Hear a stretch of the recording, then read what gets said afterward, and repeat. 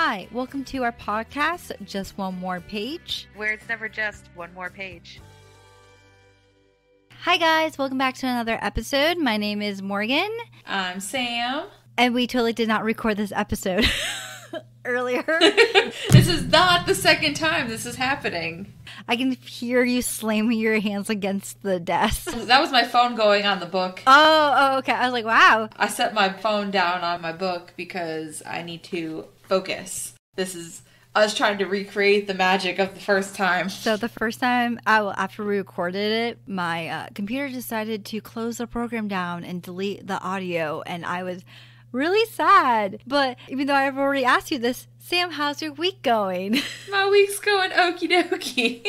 I've had the whole week off from work because apparently my inability to be graceful caught up to me and I sprained my foot. Which sounds like the most ridiculous injury in the entire world, but because I stand on my feet for 12 hours a day, my doctor was like, You ain't working, and I wasn't fighting him. So he handed me a piece of paper. It was a get out of jail free card, and I have been living my best life. I read three books, and I've just been hanging around and doing nothing. I wish that I could write a note to get out of work. I, you know what? Maybe if I write a fake doctor's note, I can be like, "Here, boss, here's my fake doctor's note. Please let me go." She probably would look at that and laugh and be like, "Get back to work." Listen, I will show you a copy of my doctor's note. It's such a Word document. It would be so easy to just hand off. There's no signature on it or nothing. oh, really? I don't think they they would care. They'd be like, "Nope, go back to work."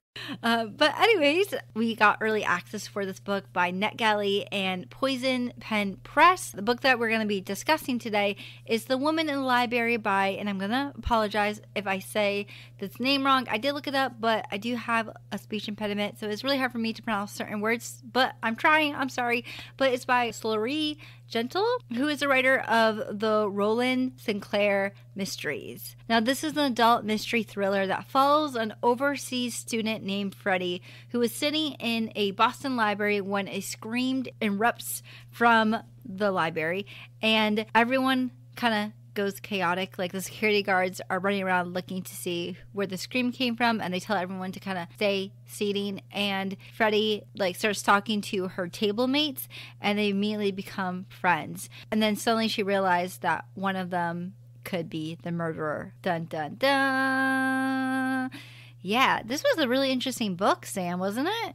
I feel like we got catfished by this book because how the summary is set up is kind of like 12 Angry Men esque. Like, what I thought was everything was going to happen in one singular room or at least one singular setting the whole time. Who killed this woman and what was going on. And that's not what we got at all. I, I think they spent all of like 20 minutes at the library at the very beginning and that was pretty much it after that they they were at freddie's apartment a lot and actually they pretty much stayed at freddie's apartment and then whatever restaurants they went to throughout the city of boston but that's about it like it's, not what i was expecting for sure Yeah, no, I agree. I honestly thought that this would be more so like a Scooby Doo kind of thing, like where I thought that they would be like locked in the library and then they four people like they form a bond and then they would have to like figure out who's killing people and there's a murder and it's like thrilling. And honestly, I didn't get the thriller part of this novel. Like, yes, I guess like a mystery to figure out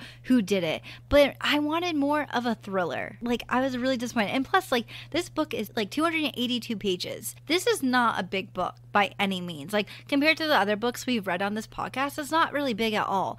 And honestly, it felt like a 600 page book. I kept zoning out. I kept fall- I fell asleep multiple times, and maybe that's because like I overwork a lot and was up really late reading, so that's probably why. But I kept falling asleep. It took a while for things to kind of happen. I didn't really like the writing style of this novel at all. I felt like at times the writing style was just a little bit off for me. I don't really know what it was. because I, I did um because the part of NetGalley you have to like leave a feedback when you're done with the book and whatnot. So I had written at the top of my feedback it was like mystery isn't really a genre like that I read specifically. A lot of times it's like there's there's mysteries in almost all books. Otherwise you would never read. You would know everything that was happening. Obviously there's a level of mystery, but like when you're writing a book specifically in the mystery genre, like I don't pick that up so this is my first ever like legitimate mystery section mystery book so i don't know if this is just how the writing style is is if this is a normal writing style I had a really, really hard time getting into this book. I think I restarted it two or three different times, and then we had the arc.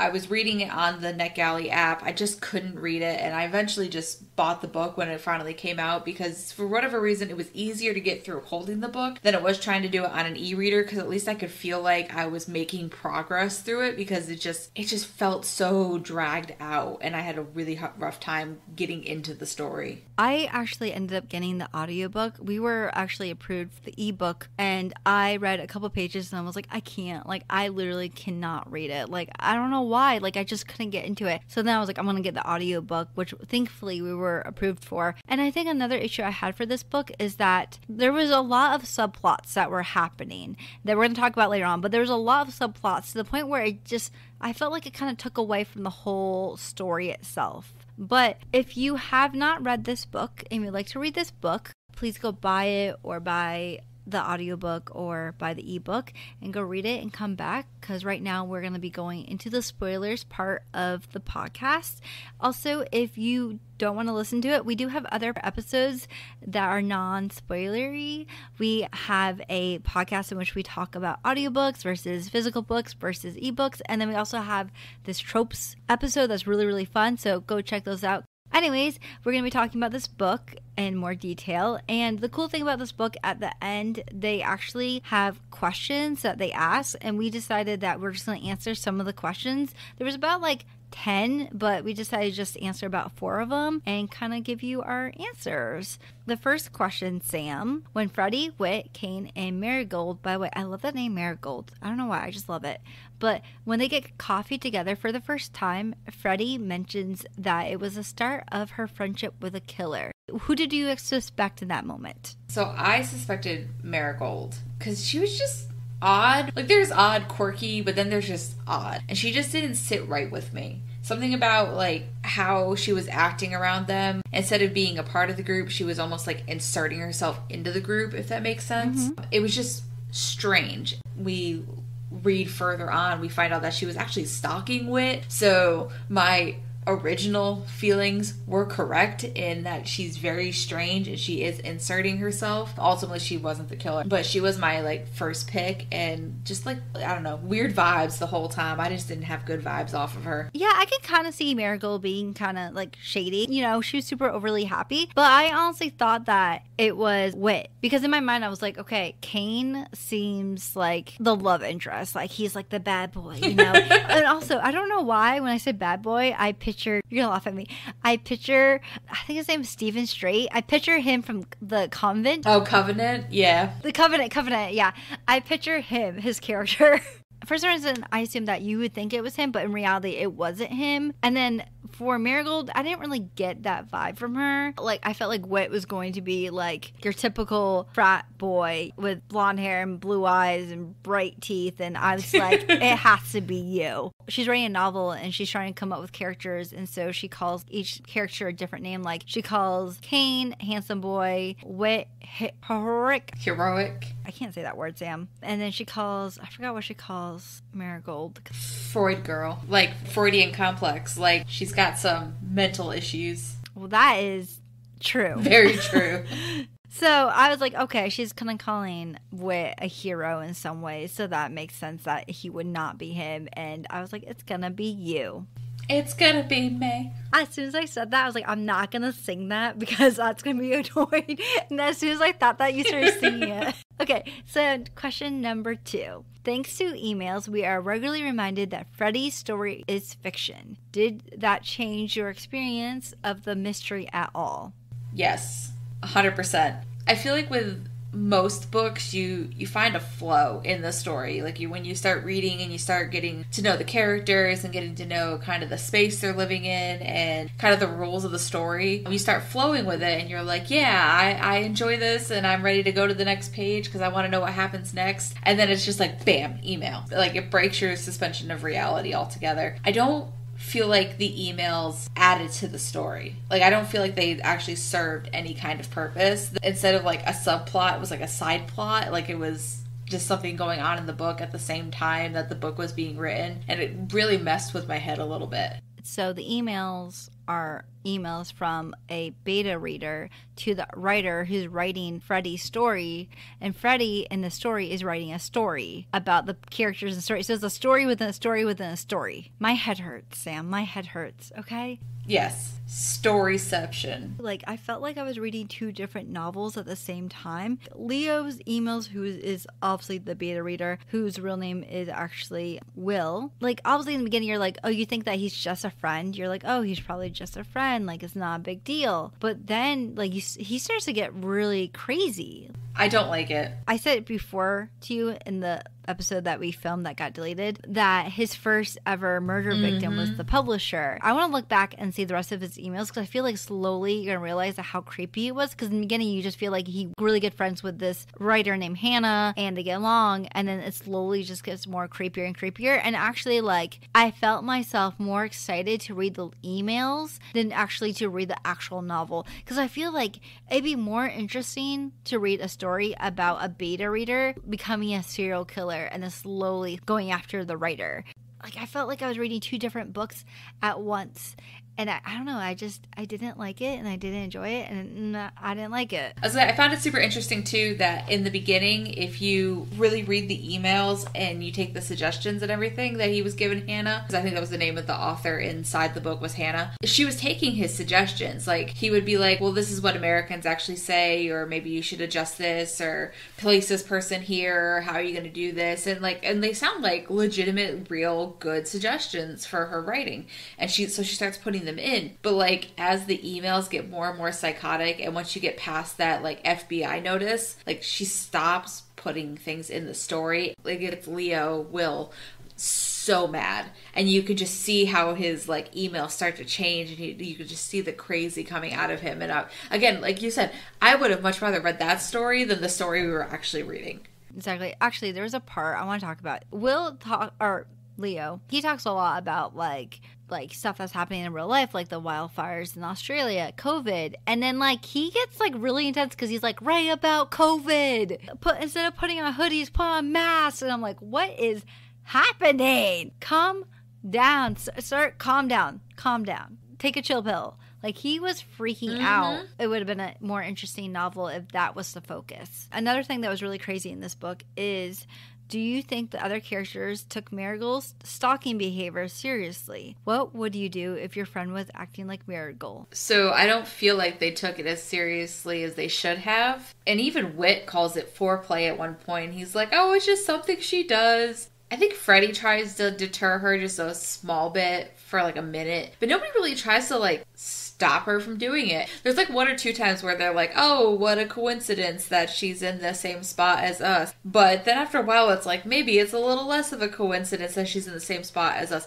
And her constantly calling Freddie and then getting mad when Freddie doesn't pick up and then just showing up at her house and stuff. This is why I thought it was Marigold at first because I was like, someone's a psycho. And, and, as far as like what would I do if it was my friend, it depending on the level of friendship, but just in general, I would just be like, hey, if if you want to catch a charge, this is how you catch a charge. So don't go catching charges. Like you need to stop because you're kind of acting a little out there. Yeah, I think that they did not take it seriously at all. And if the roles were switched and if it was one of the male characters, they would be like, oh my God, that's so wrong. But because she's a female, they're just like, oh, she's in love. But in reality, I'm like, you're a stalker, you're creepy. No. I also kind of felt like they push her and Whit together, especially Freddie. Freddie was like, oh, here's a dress to wear to your date. And it, like, she's just, she's like one steps away from like smashing up your windshield and then trying to like sneak into your house to like, I don't know, cuddle in bed with you or something. Like, creepy. And for a friend, I think that uh, depending on how the friend is, I feel like I would want to talk to them. Although I did have a situation before where my ex friend, her boyfriend broke up with her and she waited in her car for three days outside his house. Don't don't do that. Don't be a stalker. I, I definitely think they'd completely ignored it and they should have they should have been talked about. It also was a weird thing of like, why are you adding this into the story kind of thing? I don't know. I just felt really weird. The last question we have is Caroline and Whit planned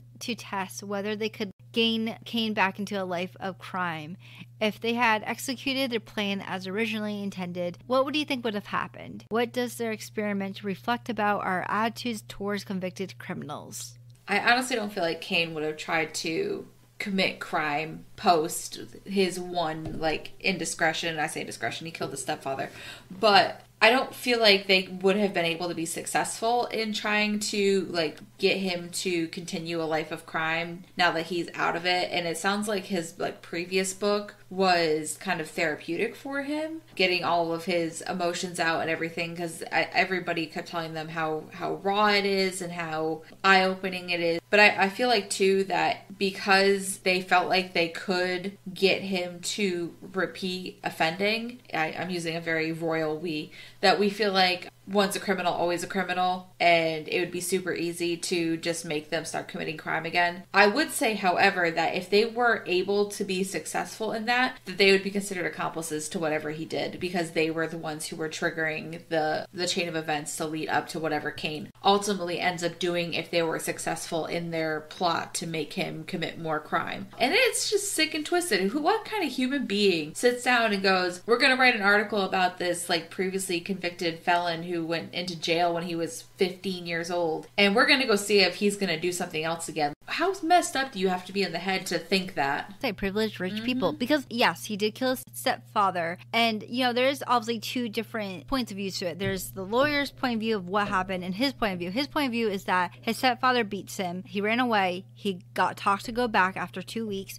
And then his stepfather tried to sexually assault him. And he had a knife on him under his bed, which is something that his mentor taught him like his per- the person who took care of him when he was homeless, and he stabbed his stepfather. Now, according to the lawyer, uh, his stepfather was like very important, like chief. Yeah, he was a decorated police officer. And to her, that's like, you're guilty. Even now, you don't even really know the truth because we, we're not really in Cain's point of view. Mm. But I, I definitely think that if they were able to get test him, I don't think anything would have happened because I don't, I feel like if anything, they probably would have just got him in trouble. But I mean, I don't know how Caroline was, but I definitely think that Whit is not smart. Like, I feel like it would have been panic, it would have been chaoticness. But that being said, I think it's harder if you're a convicted criminal in the United States because it's harder to get jobs, and that usually leads to people doing things for money and then ends up for them to be in jail, which is really sad. Do you want to go into our overall thoughts, or is there anything else you would like to add? Yeah, let's go into our overall thoughts because I could probably go on a tangent for like six hours about the criminal justice system. Overall, I thought this was a really interesting story. It was full of romance, which was really interesting, even though I wanted more of a thriller. There was a little bit of mystery and a ton of side plots. That being said, it was really hard for me to get into the book. I felt myself wanting to hear more from Leo and his letters than the actual story. And even though we do spend time with the characters, I felt myself not being attached to them at all. Like like I said, I wanted a Scooby Doo kind of mystery, gang solving stuff, but instead we just got them in the library for one scene and that was it. So I wasn't a huge fan of it. I rated it three stars. I don't know. I wanted to like it because I've seen so many people love this book, and maybe it's because like I'm not a mystery reader, but for me personally, I just I didn't like it. So I said I was spending most of the book leaning into Marigold being the killer because she was just odd. I feel like Cain was too obvious of a choice because the email Leo was so obsessed with Cain being the killer, I just felt too easy. As the book went on and Whit was in the hospital, I felt like the reason that the author was pulling a lot of the focus off of him was to create a bigger plot twist at the end. That was why he was in the hospital for a good part of the book and it became more plausible for it to be Whit. Honestly, I was hoping the author, Hannah, would become unalived and we would have to guess who the killer was. Like the book never completed, and we have to make our assumptions. That would have made for a super interesting plot device. Oh wait, hold on, real quick before we end this. Okay, I didn't like how the book ended, by the way, because of course we have the letters in which we find out that Leo, aka Will, was sent to prison, and he's like, "I can't wait till I get out and meet you," which is which is creepy. But at the end of the actual book is her go- being in the hospital, yeah, and then all of a sudden Leo from the book shows up. Is Leo from the book supposed to be evil? I don't get the ending either. You know what? If if the Hannah author was killed at the end of this book before the book was completed I feel like the emails would have made more sense. Oh, yeah, it would have made a lot more sense. And then it would have left it up to the reader to try and guess who the killer was. if okay, so that scene ends where the last scene is of her turn around and she sees Leo, who was a character written in the book, and Leo's like, "I am here because I thought you needed me," and then next article was like, "Here is like a obituary of Hannah who died." That would have been really good, but instead I'm like, why did it end this way? I don't understand, but. Next week, we are going to be reading this really interesting book called We All Fall Down by Rose Sa- Sazable. So they are known for writing the books What Big Teeth. This book follows actually four young queer people who are struggling with day to day life, not realizing that they have been chosen to awaken the magic in their world. But when a death rocks their fragile peace, they are brought together to uncover a magical conspiracy. So, we're going to be reading that next week. I'm really excited about it. It seems like it's going to be a really fun fantasy read.